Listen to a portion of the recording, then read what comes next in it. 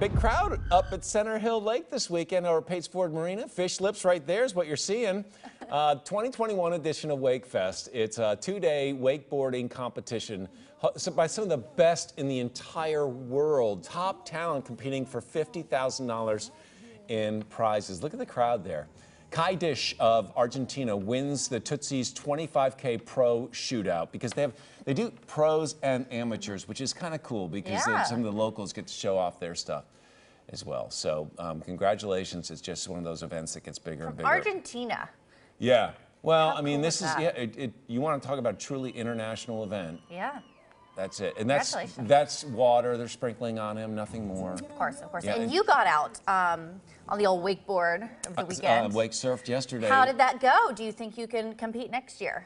Um, I almost had to roll out of bed and uh, crawl to the shower this morning because of my sore back there. But So that's a no. It's so much fun. Yeah.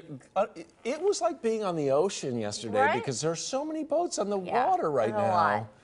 Yeah, yeah, yeah, yeah. But Yeah. no, I, I had a great time. The group I was with is just a bunch of great people. I need did- to see some I was video of you. Wakes, because you know Mueller can do it. We've seen video of Mueller doing it. Well, see, what I do is I confiscate all phones uh, prior to getting out on the water Mm-hmm. because that stuff should not be seen by human eyes.